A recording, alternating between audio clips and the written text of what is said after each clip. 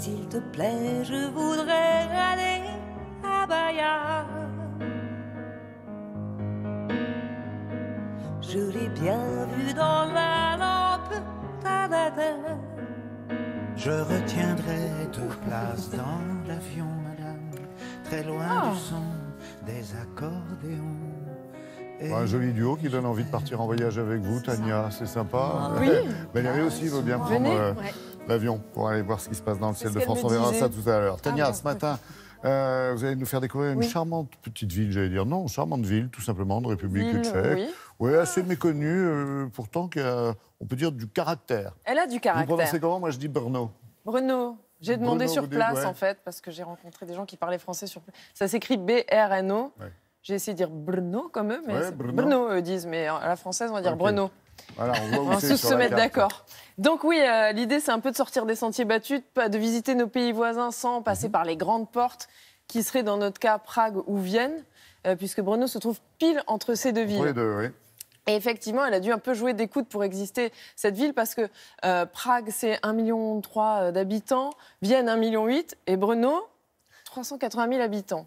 Ah ouais. Donc, il a fallu qu'elle se forge un peu un caractère, qu'elle existe. Et un des moyens qu'elle a trouvé pour exister, eh bien, c'est à travers son architecture. Donc, on a, elle est à côté de Prague, Prague la gothique, Prague l'imposante. Et Brno, elle, a un, un petit brin de folie. Et elle s'est imposée euh, avec, bon, évidemment, en grande partie l'art nouveau, mais aussi le fonctionnalisme. Euh, le fonctionnalisme qui allie euh, le pratique à, à la beauté et à la beauté de- des, bâtiments en l'occurrence. Et on a décidé donc de faire cette visite architecturale en visitant la ville, mais aussi en allant visiter la villa Tugendat, euh, qui se trouve sur les hauts de la ville et qui est vraiment un chef-d'œuvre de fonctionnalisme. On y va. Prise en sandwich entre les deux majestueuses d'Europe centrale, Prague et Vienne, Brno a toujours réussi à se distinguer. Sa marque de fabrique, son dynamisme. Aujourd'hui, ce sont les étudiants et une industrie scientifique pointue qui font bouger la ville. Mais au Moyen Âge, elle était déjà avant-gardiste. Et ce sont les murs qui nous racontent le mieux ces histoires. Ici, l'ancienne mairie, le plus vieux bâtiment de la ville encore debout. Sa fresque gothique du XVIe siècle reste encore aujourd'hui étonnante, impressionnante. Brno, c'est comme un petit village et pour le comprendre, allons sur sa place centrale. Ici, les différentes époques et leurs architectures s'entrechoquent. La tendance principale, c'est l'art nouveau. Elle concerne 80% des bâtiments de la ville. Et pourtant, elle est chahutée par un autre courant. Il y a le contraste entre euh, euh, l'art nouveau, euh, qui est en- encore un petit peu historisant, et la modernité, euh, le fonctionnalisme, avec des architectes très connus et très prolifiques. Le fonctionnalisme. Un courant qui met les formes au service de la fonction, un peu partout dans la ville.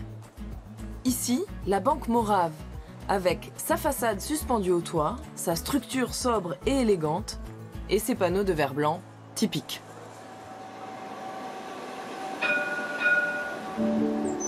Sur les hauteurs de Brno, l'église fonctionnaliste Saint-Augustin attire depuis les années 30 des fidèles, mais aussi les curieux. La pureté et l'austérité de ses lignes, l'utilisation de matériaux nobles, ici du marbre, du laiton et du bois de mélèze, en font un bâtiment remarquable.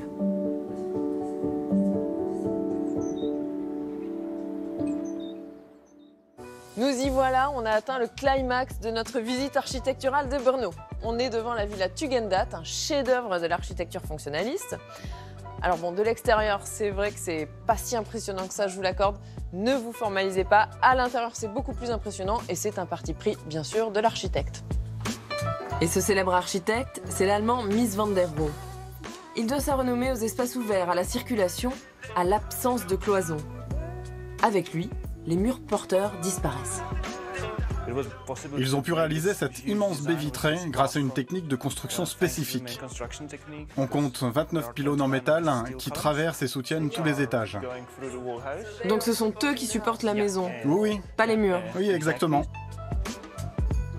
Et cette baie vitrée, en plus d'être gigantesque, descend grâce à un mécanisme, elle va disparaître à l'étage en dessous. Magie. Quand vous voyez les maisons modernes qui sont construites un peu partout dans le monde, elles sont largement inspirées de cette architecture. C'est encore une maison extrêmement moderne, même aujourd'hui.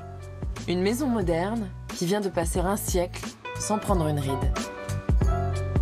Moderne et si ancien. Si ancien. Oui, c'est ça, la, la villa a 100 ans et pourtant, quand on la visite, il y a des choses hyper contemporaines à l'intérieur. Je ne sais pas si vous avez remarqué les chaises Barcelona, Ben oui. ces chaises qu'on voit partout en ce moment dans Mhm. tous les magasins. Elles ont 100 ans, elles ont été créées, alors à l'o- à l'occasion, à l'époque de, de- Mince.